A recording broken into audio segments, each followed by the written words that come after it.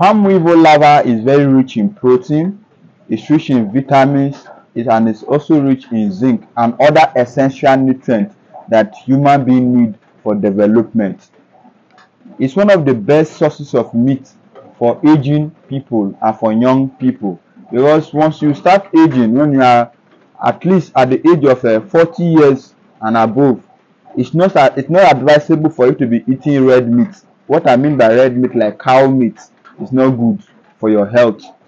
So the from research being done palm weevil larva is very good for easy digestion and it also help in protein making your system to be strong to fight against uh, diseases that will affect you. Because in nigeria one of the greatest things that we are passing through in nigeria is eating the wrong things. Once we eat the wrong things it really affect your health. Because of the poverty rate in nigeria a lot of people eat anything that they see that is food. So you breeding this palm weevil larva it will really boost the financial capacity your financial capacity. Because it's one of the most easiest agricultural venture that you can go into and earn lots of profit from it.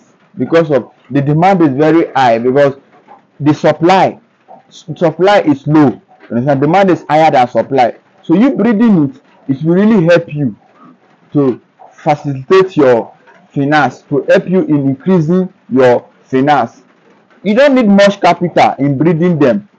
In one box you can get at least up to 150 larva in the street a larva is sold at the rate of uh, 50 naira per larva.